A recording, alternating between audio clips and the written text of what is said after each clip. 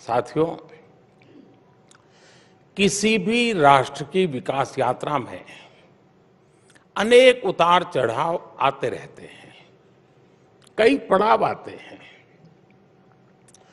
आज 21वीं सदी के इस दशक में भारत के सामने जो टाइम पीरियड आया है, ये अभूतपूर्व है।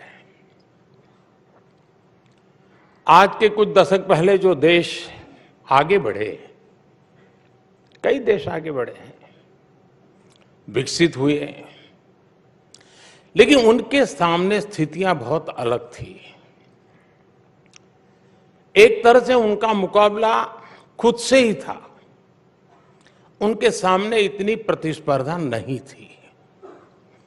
लेकिन आज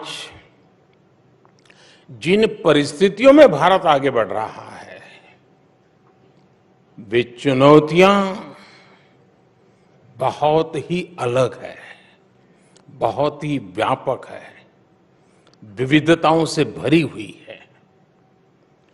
आज इतने सारे ग्लोबल चैलेंजेस हैं। अब देखिए, सौ साल में आई सबसे बड़ी महामारी, सबसे बड़ा संकट है। दो देश महीनों से युद्ध में है। पूरी दुनिया की सप्लाई चेन अस्त व्यस्त है।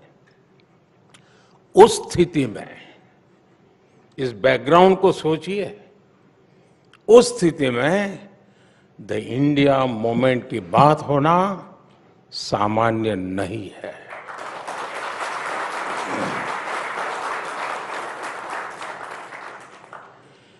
ये एक नया इतिहास बन रहा है, जिसके हम सभी साक्षी हैं। आज पूरी दुनिया भारत को लेकर एक विश्वास से भरी हुई है।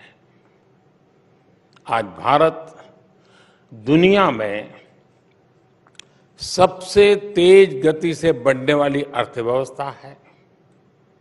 आज भारत दुनिया में number one smartphone data consumer है। आज Bharat global fintech adoption rate में नंबर वन है। आज भारत दुनिया का दूसरा सबसे बड़ा मोबाइल मैन्युफैक्चरर है। आज भारत में दुनिया का तीसरा सबसे बड़ा स्टार्टअप इकोसिस्टम है। ऐसी कितनी ही बातों पर चर्चा होती रही है। लेकिन चलो, पुरानी बातें, कभी किसी को ज़रूरत पड़ेगी तो खोद के निकालेगा। लेकिन मैं अभी अभी की बात करना चाहता हूँ आज। और वो भी 2023 की। 2023 के 75 दिन हुए हैं। मैं उन 75 डेज़ की ही बात आज करना चाहता हूँ। इन 75 दिनों में देश का ऐतिहासिक ग्रीन बजट आया। इन 75 दिनों में कर्नाटका के शिवमोगा में एयरपोर्ट का लोकार्पण हुआ। इन 75 दिनों में मुंबई में मेट्रो रेल का अगला फ़ेज़ शुरू हुआ। इन 75 दिनों में देश में दुनिया का सबसे लंबा रिवर क्रूज चला। बेंगलुरु मैसूरू एक्सप्रेस वे शुरू हुआ। दिल्ली मुंबई एक्सप्रेस वे का एक सेक्शन शुरू किया गया। मुंबई से विशाखापट्टनम से वंदे भारत ट्रेनें चलनी शुरू हुई। आईआईटी धारवाड़ के परमानेंट कैंपस का लोकार्पण हुआ। भारत ने अंडमान और निकोबार द्वीप समूह के 21 द्वीपों को परम वीर चक्र विजेताओं के नाम किया। साथियों, इन 75 दिनों में ही भारत ने पेट्रोल में 20 परसेंट इथेनॉल की ब्लेंडिंग करके ई ट्वेंटी फ्यूल लॉन्च किया है। इन 75 दिनों में ही तुमकुरु में एशिया की सबसे बड़ी आधुनिक हेलीकॉप्टर फैक्ट्री का लोकार्पण हुआ है। एयर इंडिया ने दुनिया का सबसे बड़ा एविएशन ऑर्डर दिया है। इन 75 दिनों में ही भारत ने ई संजीवनी के माध्यम से 10 करोड़ टेली कंसल्टेशन का मुकाम हासिल किया है। इन 75 दिनों में ही भारत ने 8 करोड़ नए टैप वाटर कनेक्शन देने का मुकाम हासिल किया है। इन 75 दिनों में ही यूपी, उत्तराखंड में रेल नेटवर्क के 100 परसेंट इलेक्ट्रिफिकेशन का काम पूरा हुआ है। साथियों, इन 75 दिनों में कूनो नेशनल पार्क में 12 चिताओं का नया बैच आया है। भारतीय महिला टीम ने अंडर 19 क्रिकेट में टी ट्वेंटी वर्ल्ड कप जीता है। इन 75 दिनों में देश को दो ऑस्कर जीतने की खुशी मिली है।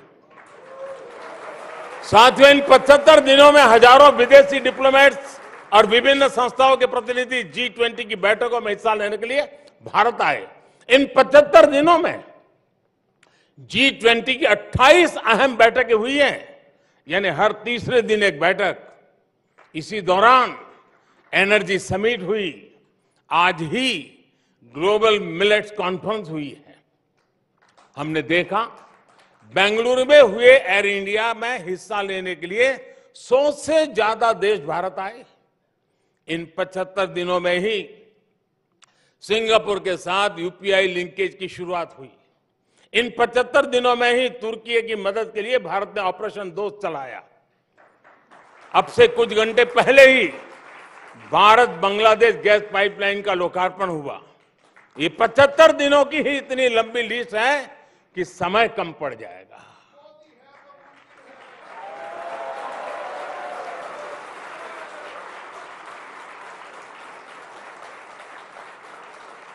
और मैं 75 दिन की कुछ बातें इसलिए दिखा रहा हूँ कि यही इंडिया मोमेंट का ही तो रिफ्लेक्शन है।